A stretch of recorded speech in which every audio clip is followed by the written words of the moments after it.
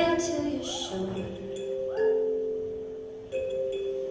just to see my true love, the one I adore. I would part all these provinces in my paper boat, and I'd kiss you.